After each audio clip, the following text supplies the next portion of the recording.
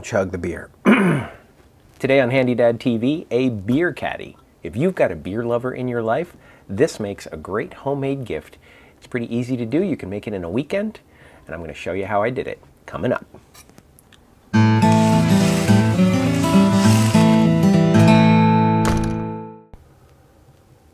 Welcome to Handy Dad TV. I'm Chris Heider, your virtual dad in the cloud, and today I'm going to show you how I made this beer caddy.